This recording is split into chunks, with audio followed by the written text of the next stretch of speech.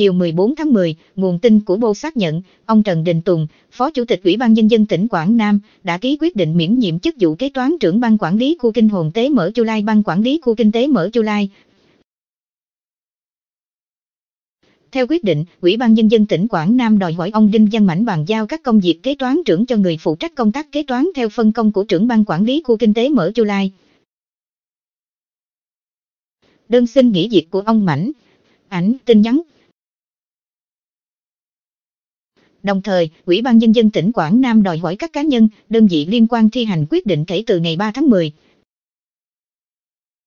Như Bộ đã thông tin trước đó, ngày 22 tháng 7, ông Mảnh có đơn xin thôi việc gửi điều khiển ban quản lý khu kinh tế mở Chu Lai, tránh văn phòng và trưởng phòng kế hoạch tổng hợp ban này.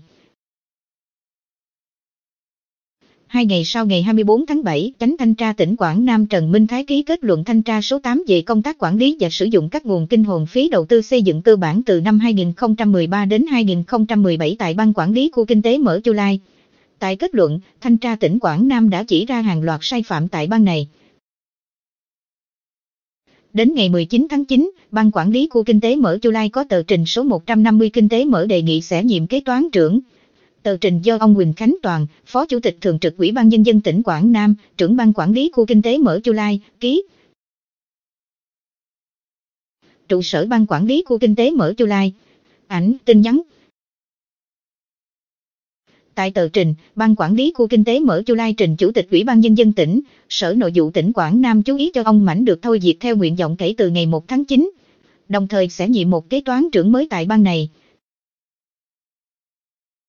Liên quan đến việc ông Mảnh xin nghỉ việc, ông Lê Vũ Thương, Phó trưởng Ban Quản lý Khu Kinh tế mở Chu Lai, khẳng định ông Mảnh không liên quan đến kết luận thanh tra nên thống nhất đề xuất người khác thay thế chức vụ kế toán trưởng tại ban này.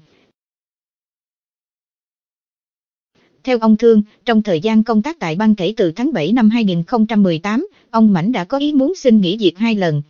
Tuy nhiên, ông Mảnh được động viên nối tiếp khăng khít với ban.